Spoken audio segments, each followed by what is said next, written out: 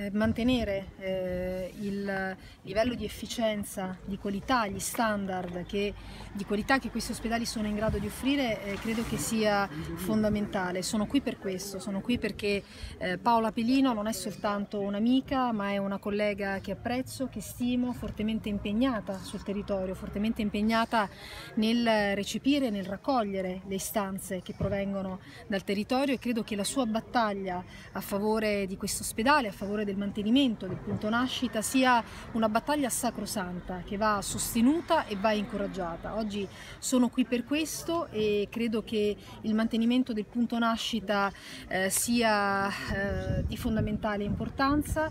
Eh, sappiamo che c'è un decreto eh, del nuovo Presidente della Regione, Presidente da eh, due anni, che va nella direzione della chiusura eh, di questo punto nascita. Sappiamo che anche il Ministro Lorenzin ha aperto alla possibilità di derogare ai principi che ispirano questo decreto, noi ci appelliamo al Presidente della Regione affinché ascolti le istanze che provengono dal territorio, che sono istanze di ragionevolezza e di buonsenso, perché eh, Sulmona è il cuore dell'Abruzzo e serve eh, comuni che si trovano in una situazione di disagio eh, territoriale a livello geografico. E ci sono buone ragioni, ottime ragioni per il mantenimento appunto eh, di questo punto nascita perché eh, appunto si trova in una eh, situazione, in una regione eh, che serve comunità che sono poi eh, difficili eh, da raggiungere soprattutto nella, nel periodo invernale. Insomma queste ragioni ci spingono a combattere.